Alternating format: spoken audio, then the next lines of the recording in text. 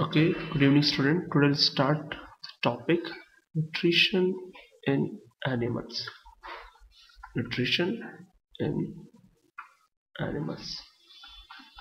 As we know that uh, most of the animals are basically depend on the plants and other food products like flesh etc and if I ask a simple question that how the animal will get the food so we have a, one common answer that animals will get food mainly from the plants or they can be uh, herbivorous if they eat the plant and they can be a carnivorous if they eat the flesh of the other animals.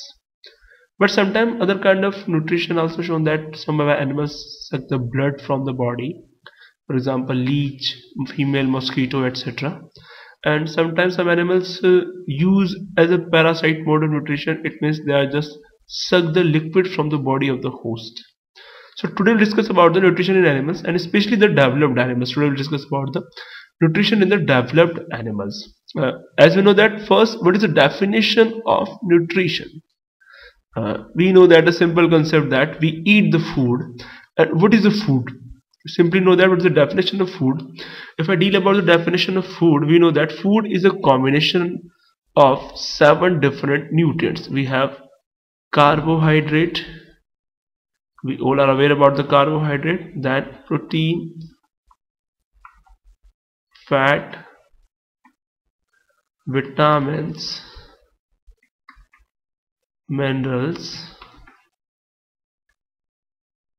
roughage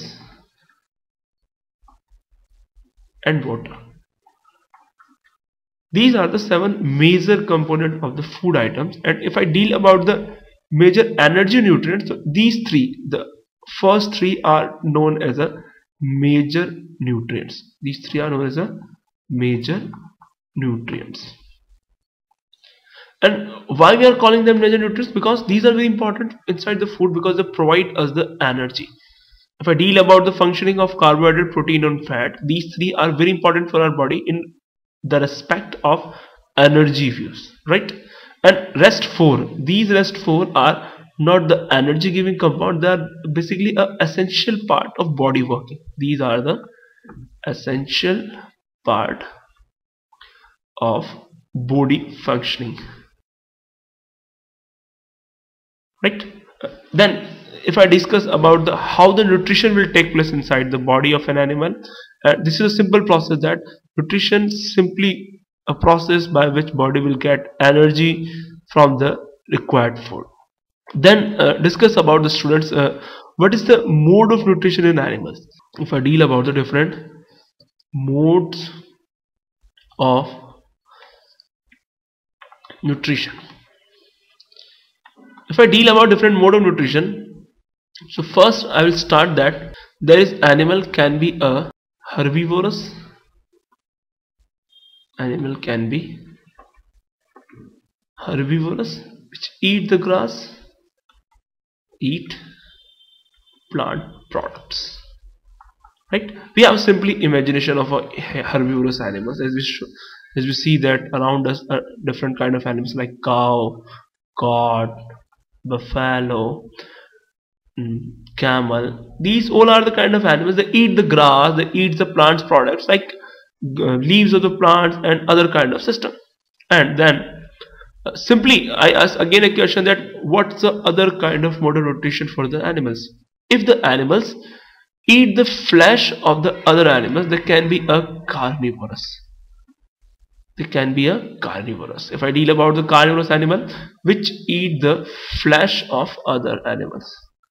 Which eat the flesh of other animals which is the flesh of other animals. So these two are the major description of the animals herbivorous and carnivorous. Beside this the animals can be of omnivorous also. Omnivorous. The omnivorous organism can eat both plant product as well as flesh plant product as well as the flesh right. Then the different kind of mode of nutrition that's the animals. Sometimes see that some animals suck the blood. These mode of nutrition is known as sanguinivorous and we know that the animals suck the blood like leech which suck the blood which suck the blood. Sometimes we have a bite of mosquito in our body and this is a simple example of sanguinivorous animal they suck the blood from the host body suck the blood from host body.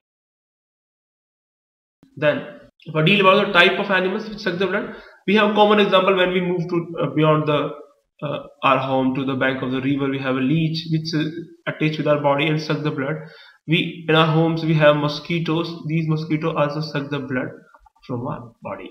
These simple three four kind of uh, organism which perform the different kind of mode of nutrition and these four are very important. Sometimes some animals eat the fruits sometimes some animals eats other kind of uh, uh modes uh, other kind of food like uh, sometimes some uh, animals are the host on the body. These are the parasites mode of nutrition let's move about the what is the uh, steps of nutrition. If I deal about the steps of nutrition whenever food comes inside the body what will happen to the food? So second we will deal about the major steps of the nutrition. Steps of the nutrition. Major steps of the nutrition. Whenever food comes inside the body, we know simply that whenever food we are getting from the source, it can be a plant, it can be a animal. The steps of nutrition first I deal about the intake of food. This is a simple process of intaking of food. It's just to get the food inside the body. To get the food inside the body by the process of intake we get the food and after intaking the food the process which is very important the major part of the nutrition is that digestion what is the digestion process in this process of digestion we know that simply the three major nutrients which I have earlier discussed that carbohydrate protein and fat they move inside the body and they will be digested inside the body by our body enzymes. So first we discuss about that how the digestion process will take place. We know that whenever we take the food the food in the uh, complex form we know that the carbohydrate is a kind of complex material. Carbohydrate protein and fat so these three are the major nutrients of our food. Whenever we get the food what happen inside the food the molecule of the nutrients will convert the large molecule. This is the large molecule of the food. Large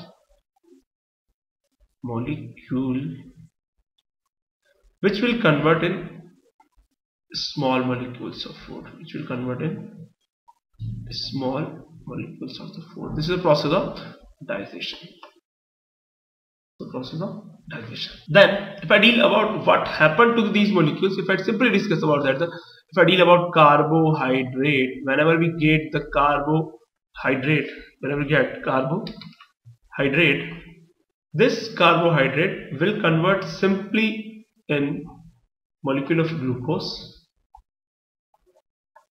Whenever we get protein, this protein will convert in a molecule of amino acid. Let's convert in amino acid. Then, if you get the fat, will convert in two molecules simply known as the molecule of fatty acid plus glycerol right so this this is simple process of digestion which happen inside the body of an animal then move to the next topic that uh, when when digestion take place the second step that's the first step intake then digestion after the digestion the process which is again a very important role that's simply known as the absorption of the material that's known as the absorption. What is absorption? To absorb the nutrients for the further use. To absorb the nutrients. To absorb the nutrients simply. In an animal, this is very important process that if the digestion will take place, the digested nutrients should be absorbed to the body and this simple process is known as the absorption of the food. after absorption we know that the nutrients are not only required by the absorbed part it will be required by the entire body. So it should be circulated to the each and every cell each and every part of the body each and every segment of the body. We require that if uh, we get coal from the coal mines. So coal mines is the source of coal. So coal is not a use for that particular area. It should be circulated to the each and every part of the world. So simple process that whenever we get the nutrients nutrients will move to the each and every part of the body. And this simple process is known as assimilation.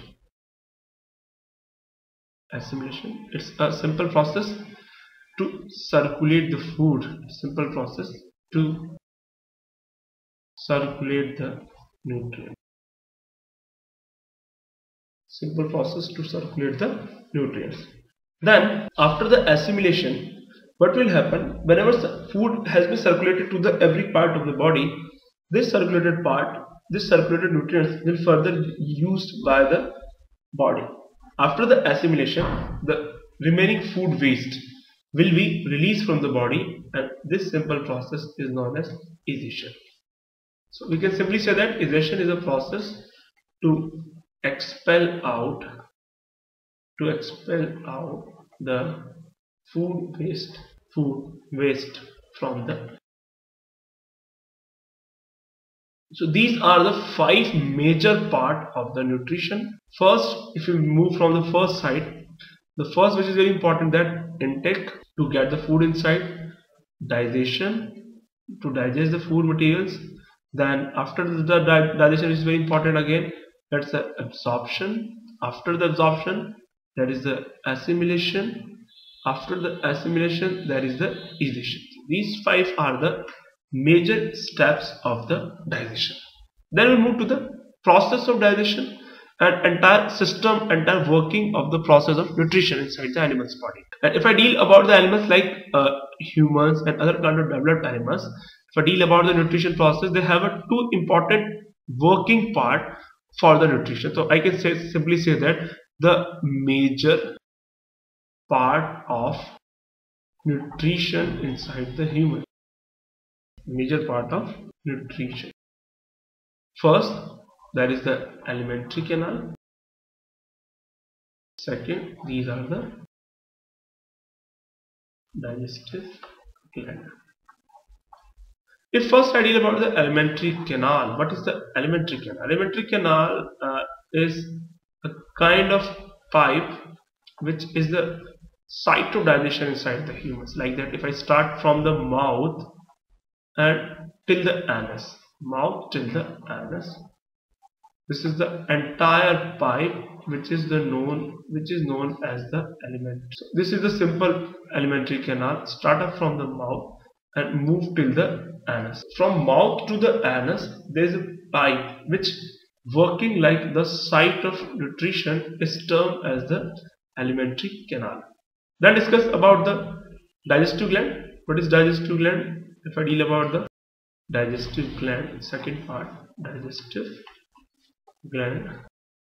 These are the gland which are basically secrete the enzymes for the digestion. Secrete the enzyme for the digestion. We simply know that uh, what are the enzymes if I deal about the definition of enzymes enzymes are the kind of product which help in the functioning of the reaction. Simply know that enzymes are the kind of agent which increase the rate of reaction and these are used by our body. So these enzymes are basically formed of proteins and these enzymes are very much important inside our body for the digestion of the food particle. Then move the, about the alimentary canal structure for the human being if I deal about the structure of alimentary canal structure of alimentary canal. It start from the mouth and it move till the anus. If I draw the diagram of alimentary canal inside the human body it start from the mouth. It start from the mouth. This is the alimentary canal then it move here then here it moves to the next part which is again a very important play which again a very important part. This is the bag-like structure is known as the stomach. Then stomach moves to the coiled part. This coiled part is basically termed as a small intestine. This is small intestine. Then small intestine move to another important part which is further termed as the large intestine. This large intestine is a coiled part and it will extend to a part which is termed as the so this is our alimentary canal. If I label the each and every part this is the first part from mouth. We know that. This is esophagus or also known as a food pipe then we have stomach. This is the stomach. Then we have small intestine. Small intestine divided into three parts. First duodenum. Second the middle one which is termed as jejunum. And the final one that's termed as a ileum these three are the part of small intestine. This can term as a small. Then move to the large intestine. Large intestine start from first colon, then rectum. This is the rectum part, and the final one that's the this is the anus. First part, second part, and third part. Large intestine. So this is a simple structure of the human alimentary canal. Start from the mouth, then esophagus, food pipe, stomach, duodenum, jejunum, ileum.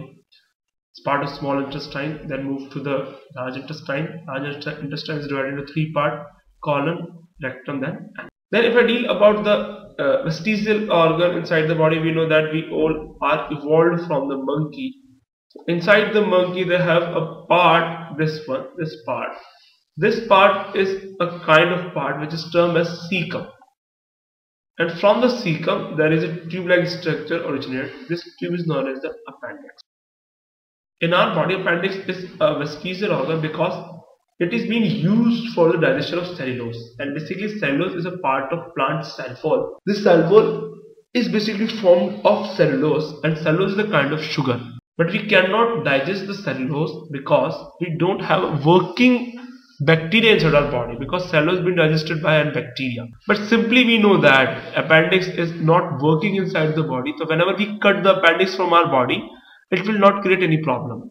But inside our ancestors like monkey chimpanzee apes gorilla orangutan these all have a working appendix because they have to digest the cellulose because they are basically dependent on the plant leaves plant products. So this is the simple structure of our alimentary canal let's move uh, about the gland which is termed as a digestive gland